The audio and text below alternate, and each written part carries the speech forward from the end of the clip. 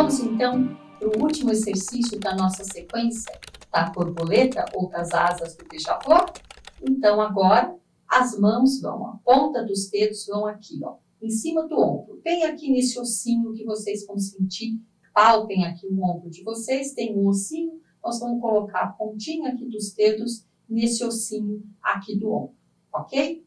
E agora as asas da borboleta vão bater, olha, de baixo para cima, de baixo para cima, de baixo para cima. Para baixo, todo santo ajuda. A questão é para cima. Então, para cima que nós vamos ter que fazer força para alongar toda essa parte aqui inferior. A mesma coisa, a gente já conversou sobre isso. A maioria dos movimentos que a gente faz no nosso dia a dia, os braços estão grudados aqui no corpo.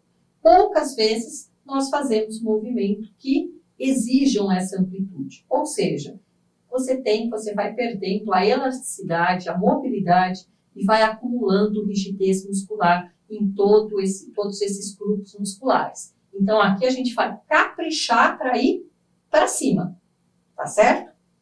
Bom, vocês poderiam falar, né? Mas eu tenho que fazer força nesse exercício. Todos os exercícios estão seguindo essa lógica. Um grupo muscular vai fazer força para você subir, enquanto o outro grupo vai relaxar.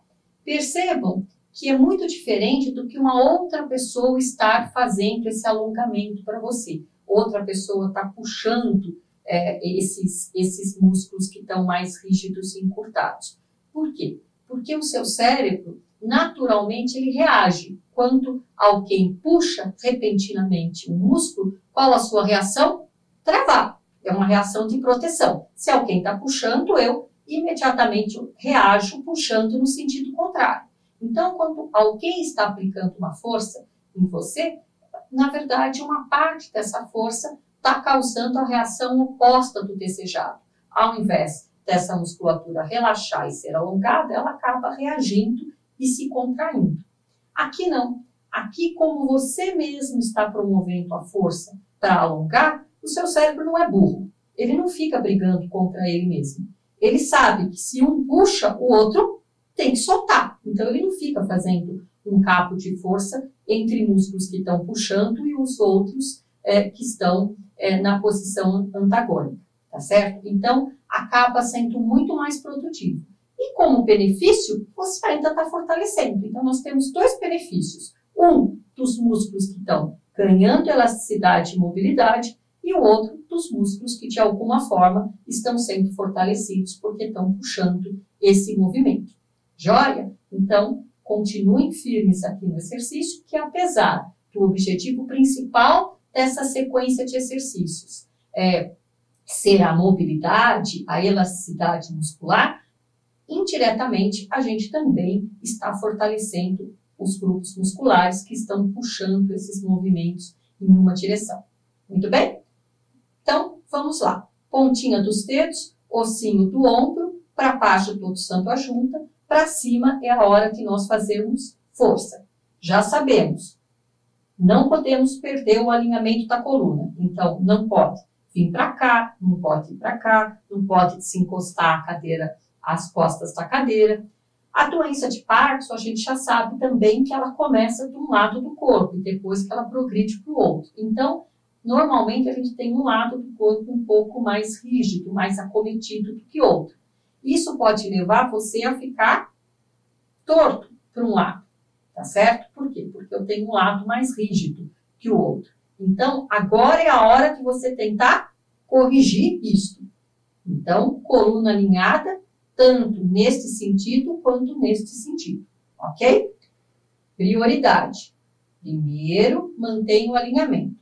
Lembre-se, eu falei lá no nosso primeiro exercício, pés apoiados. É pastinho como eu, é pastinha como eu, usa alguma coisa para apoiar bem os pés. Isso é fundamental para que a gente consiga fazer o exercício da forma correta. Muito bem? Pontinha dos dedos, ossinho do ombro. Vamos lá, para baixo e para cima. Para cima é a hora que a gente tá aquela caprichada. Vamos lá? Então vamos lá. Primeira repetição, a gente vai fazer com velocidade, é, tentando é, manter aqui, tentando aquecer todos os músculos envolvidos nesse movimento. Vamos lá? Um, dois, três, quatro, cinco, seis, sete, oito, nove, dez. Perfeito. Vamos repetir? Um, dois, três, quatro, cinco, seis, sete, oito, nove, dez.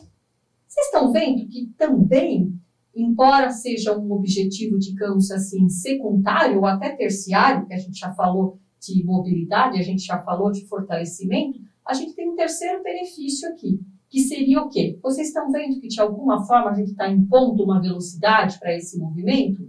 Ah, vocês se lembram que o sintoma marcante da doença de Parkinson, aquele que é essencial para o diagnóstico da doença de Parkinson, que é a lentificação dos movimentos, a praticinesia? Então, se eu caprichar na velocidade, se eu conseguir impor uma velocidade mais alta nesse exercício, eu também vou estar é, compatendo a praticinesia, a lentificação do movimento. E de brinde, ainda vai a coordenação, porque eu estou fazendo isso ainda de uma forma coordenada. Muito bem, vamos lá então, agora para a segunda forma de realizar o mesmo movimento. O último exercício que nós fizemos, a gente já introduziu um, um, um plus, que era o quê? Olhinhos fechados, fechar os olhos, para que a gente consiga observar o efeito do exercício no nosso corpo. Então, vamos lá? Levanta tudo que vocês conseguirem, capricha aqui no movimento para cima, fecha os olhos, respire tranquilamente, sinta aonde está sendo alongado e vamos contar até 15. Um, dois, três, quatro, cinco, seis, sete, oito, nove, dez, onze, doze, treze, 14, 15. E voltou.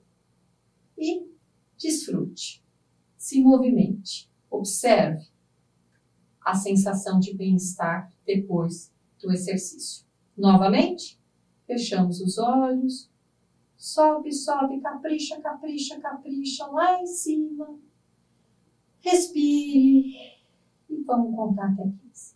Um, dois, três, quatro, cinco, seis, sete, oito, nove, dez, onze, doze, treze, 14, 15.